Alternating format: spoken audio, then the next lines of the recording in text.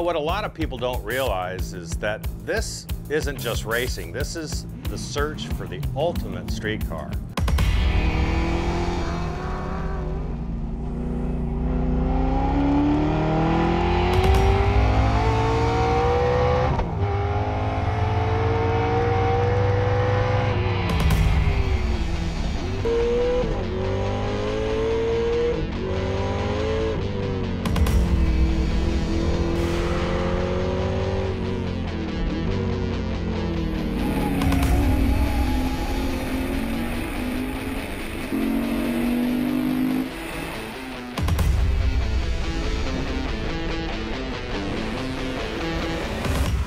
Course is a ton of fun. I really enjoy it. That's what I sign up for.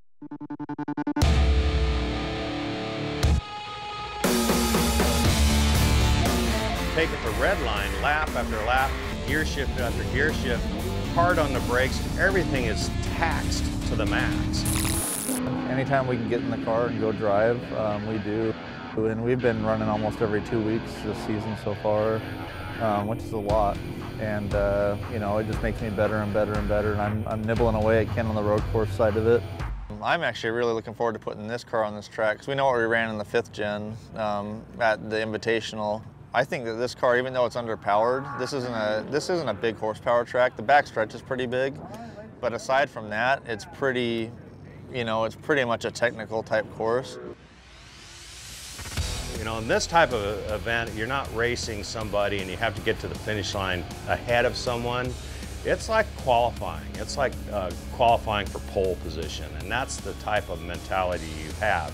You have to make sure the brakes are warmed up on your warm-up lap, tires are up to temperature, but not too hot, and you literally get one shot at putting that car on pole or winning that fast time of the day.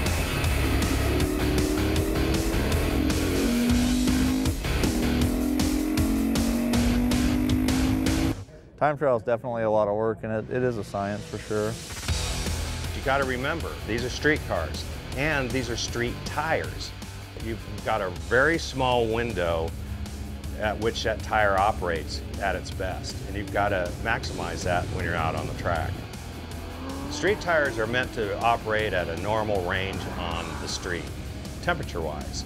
So when you overheat them, when you drive them really hard on a racetrack, they come up to their optimum temperature and then they exceed that.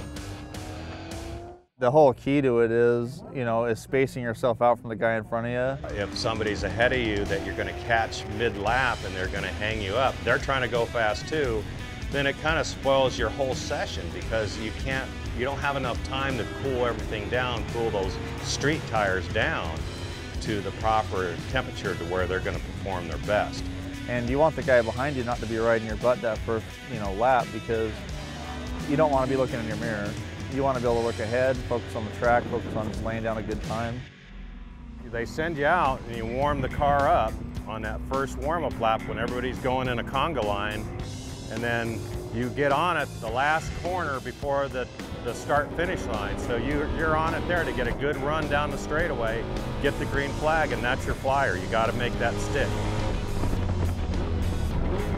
What did we run, a 152? Yeah, going to 153.1. We've got clutch problems again. Took the green, I got on it. It was like, when, when?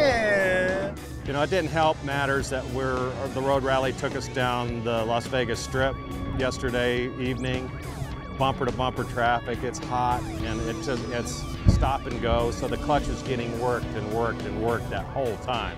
Probably get another session in on this clutch, but I've got to really baby it. And with a slipping clutch, you have to be real ginger with the throttle. You've got it like an egg underneath the throttle. You got to be so gentle with it. So you just have to calm down and really focus to get that one lap and what it's going to take to do it with a slipping clutch or, or whatnot. You've got to be able to be disciplined have your game plan and incorporate that on that lap.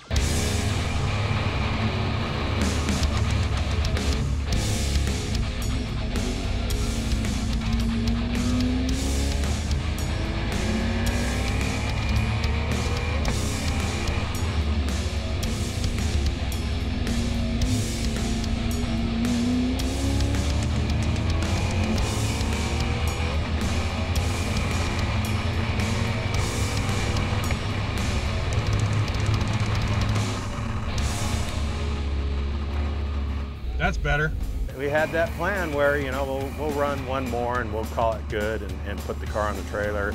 And I just thought, well, we kept, we improved by a half a second, then we went back out and improved by a second and a half. I mean, a lot. I kept saying, man, what's wrong with Jake? They said, he's going really slow. And I, then I realized, oh, I was going really fast. It was a good rabbit to chase, that's for sure. I'm Yeah. usually not a chaser. Hey, it worked that time. Actually, we're sitting third overall with a slipping clutch, so you go figure. No, I didn't leave anything on the table out there today. Um, on the road course, we we pushed the car to its limit. Um, we got down to a 51.9, which I was super happy with. That's uh, for a relatively stock car, that's moving. Um, and I'm, I'm happy with the overall performance, but I'm worn out. Chasing Ken all day was a lot of work. Two for two. Uh, got a win in Thunderhill, and we got a win here in Las Vegas. Looking for our third win coming up in New Jersey. So uh, we got 468 points towards the GT Championship. Add that to our 440 something we got in Thunderhill, and we're on our way. So we got some hardware, made the trip worthwhile. We'll see you later.